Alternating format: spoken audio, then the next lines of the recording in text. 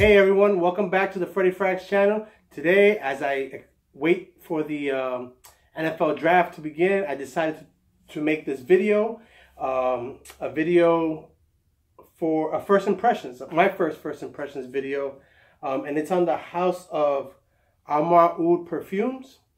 Uh, these I have six samples that was provided to me by Josie from Osswald. Um, this is a house that they'll be um, they'll be selling soon, if not already. Um, she sent this out to me about maybe a week ago.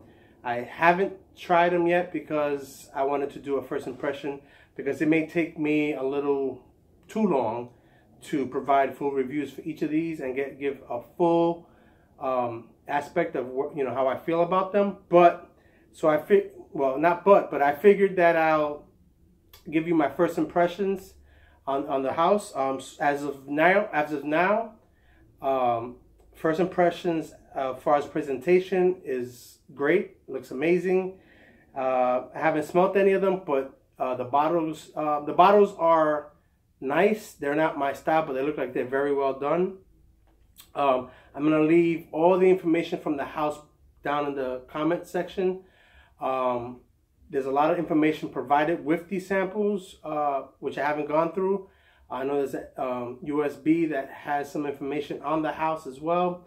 And um, I'll go through that tonight when I'm watching the um, the draft. And I'll try to put up the video tonight, if not tomorrow. So hopefully you guys will have this uh, here within the last couple of days of um, April. Um, so again, first impressions on the House of Amouroud samples came in this uh, velvety pouch. Um, one of the samples was in another little velvet pouch where it slips in. Like it was like this, very nice. Um, and last but not least, the automizers. Um, perfume, I guess you know the logo and the name is on every on every piece of their um, all the materials for their samples and all black, very nice. Um, I thought these were full, but they're not. But it's okay. Um, it's enough in here to give me uh, more than just a first impression. So um, again, I have six of them, and I'm just gonna grab them randomly here um, in order that I have them just set up there. Uh, the first one is Midnight Rose. Wonder what that's gonna smell like.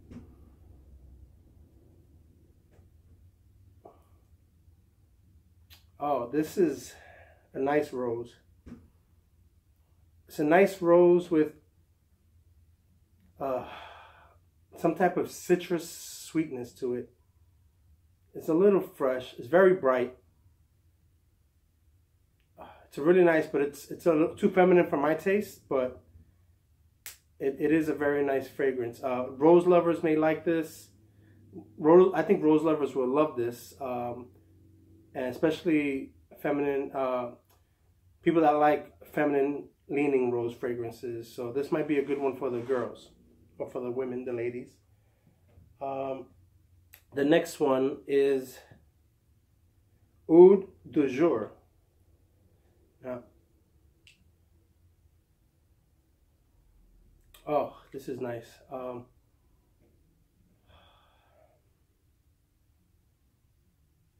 This is a wearable oud. Fruity. It has like a fruity sweetness.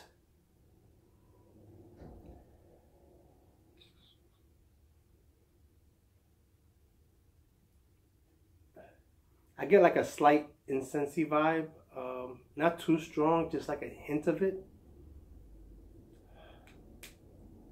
Very nice. Uh, that's Oud du Jour very nice. Like I said, it's a wearable oud with some sweetness to it. Um, not too dense, but it's very nice. Um, the next one here, I have Saffron Rare.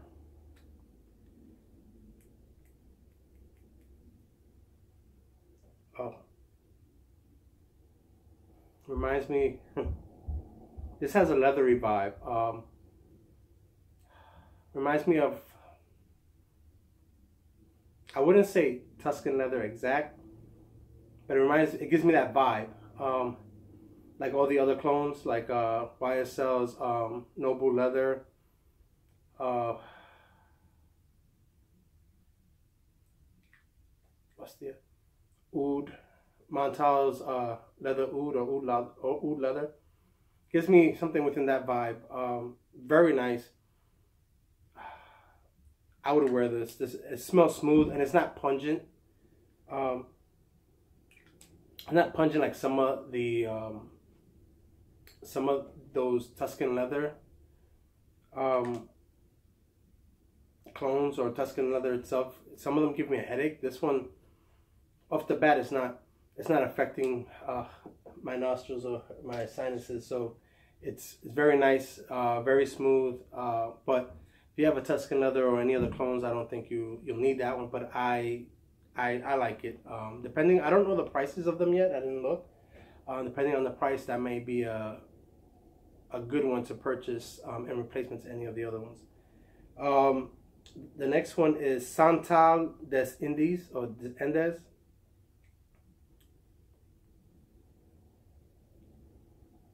Mm. It's nice. Uh, sandalwood, 100%. Uh, has like a nice smooth oud. I also get a uh, leather vibe from here. Not the same leather. This is a more like it's like more of an oudy leather scent. Um, I do get woods, and again another slight hint of that incense. That might be their DNA. Uh, I'm not sure. Uh, like I said, these are my first time smelling them. I haven't tried anything else from the house. If there are other scents, but it's another nice one. Uh, if you like oud, sandalwood, and uh, a little bit of a leather, that's a nice. Uh, excuse me. That's a nice scent as well. Um, the next one I have here is Meal Sauvage or Mayal Sauvage. Um, oh, this is nice.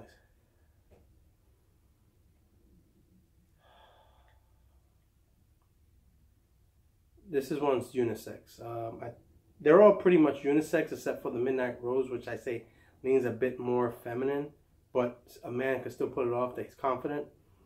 Uh, but this one is right down 50-50. Uh, I get honey, uh, similar honey to like Back to Black, but you know, it doesn't smell exactly like Back to Back, but it has that honey vibe of Back to Back. Tonka, vanilla, something to that effect. Oud. I also get Santal, Santal, um, sandalwood in this one. Uh, and again, very nice, very nice scent. Uh, I must say, I'm, I'm impressed so far. Last but not least, Dark Orchid. They, they have the names here. I don't know if I said that before. It's very nice presentation.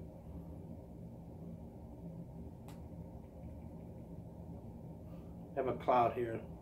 I'm spraying them down here just to get it on atomizer. Um, I think that's going to give me more accurate than if I sprayed it on paper. And it's working because I get a pretty good uh, array of the scent just around where the atomizer is. This is Dark Orchid. Definitely get the Orchid.